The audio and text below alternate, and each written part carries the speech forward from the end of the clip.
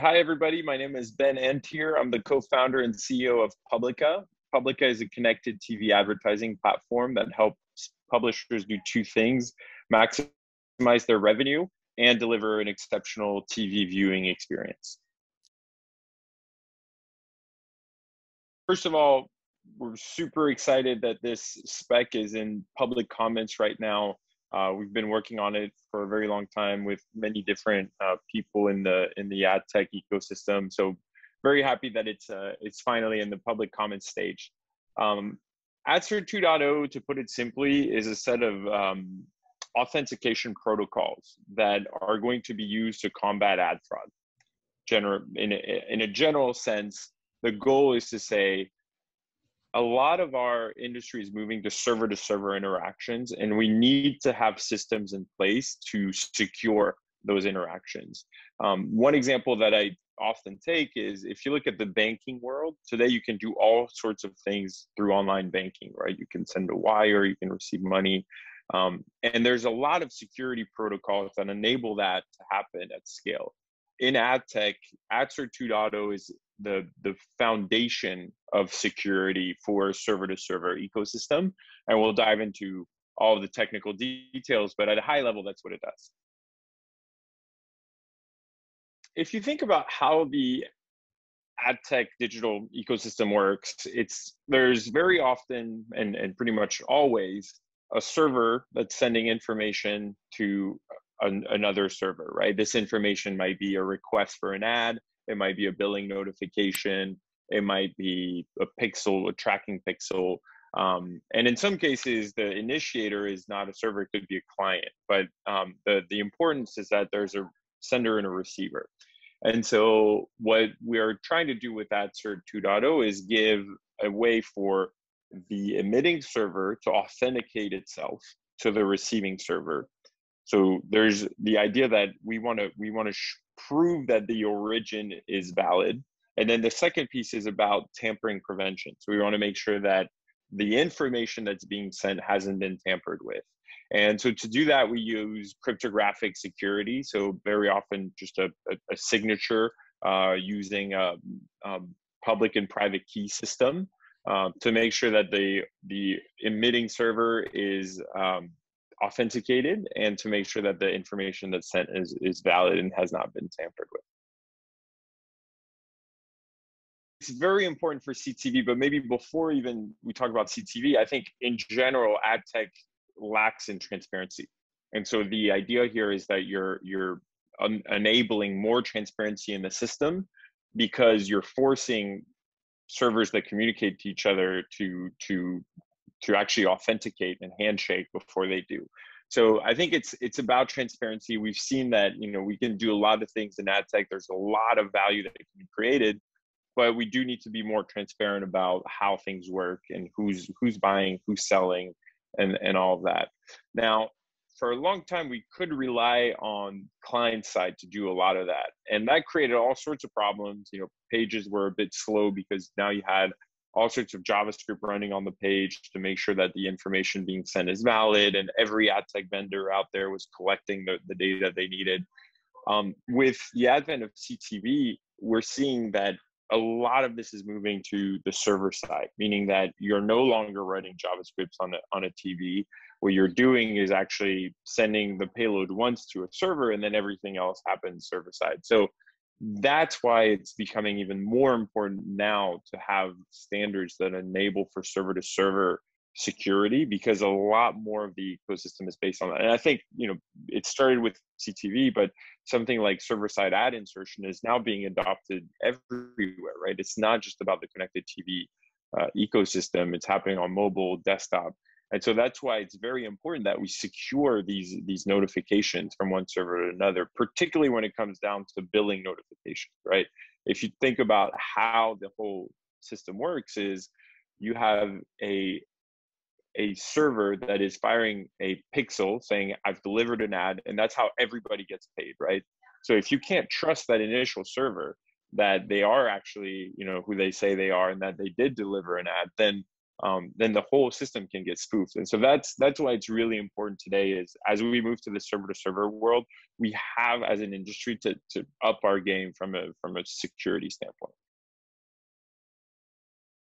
Initially, there is a, a, an idea right that's put out there that there's a need for this type of, of um, spec and then really what, what makes it a reality is there's companies and more importantly people that spend you know met every thursday for the past year uh, and that started with hey you know how would we go about fixing this issue to writing a first version of the, the spec? And then having other people come in and, and bring um, constructive criticism to it to make it better uh, so there's a lot of refinement. There's a lot of we've actually um, used some existing security protocols that we've just translated into the AdTech ecosystem. So for example, emails have you know some pretty standard um, security protocols embedded in them. We've used some of that in this spec. So it's also about just making sure that everybody can bring their background, you know, technical knowledge and uh, to make a, a, spec that fits for all use cases because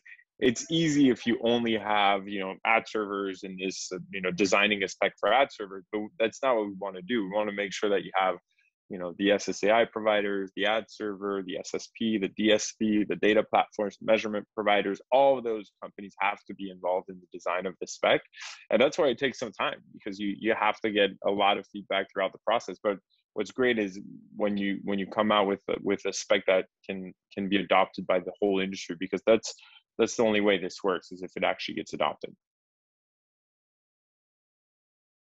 So you know there's a lot of talk about ad fraud and it's never going to be a premium you know streaming publisher that creates fraud right? It's going to be other bad actors that are impersonating them. And so the great news for streaming publishers is you're going to prevent other actors from pretending to be you with this spec because you're you're going to be proving every single time you're initiating a request you're going to be proving that this request actually comes from you and contains the right the right data right? So that's the biggest thing is you're going to prevent bad actors from from spoofing your inventory which means that you know the, the actual inventory that's being sold on the marketplace is going to be yours and so you're going to be benefiting from that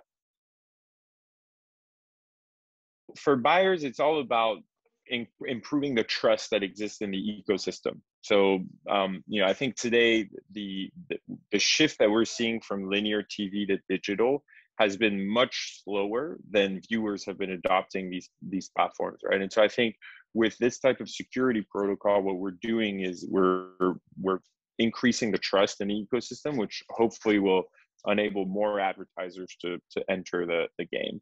Um, and the other thing that I think is very important is today in the connected TV ecosystem, there's a lot of transactions uh, that are that are deal based, pretty much all of them, right? The vast majority of them today.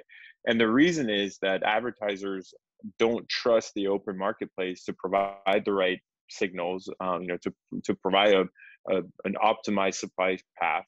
With this spec, I think what we're doing is we're giving a chance for a dynamic real-time bidding based marketplace in CTV, which I'm very excited about because I think that's you know that's the future we want to we want to aim towards and um and I think you know having having the right security layer is is kind of the the first step to to to um, going towards that.